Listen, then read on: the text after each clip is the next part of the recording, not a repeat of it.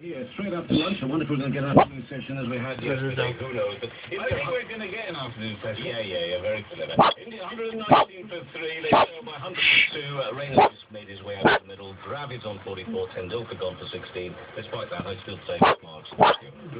Shush! Here's chortling in the background, Vic Marks. He loves making jokes. Uh, Carty on Five Live Sports Extra at the moment on the Test match. And let's go to McDiarmid Park. It was a midday kick-off in the SPL between St That's it, Johnstone stop. and Rangers. Ian Turner. Yeah, no joke here if you're a St Johnstone fan with only two minutes left. I won't St go Johnstone out for a still dog. trail Rangers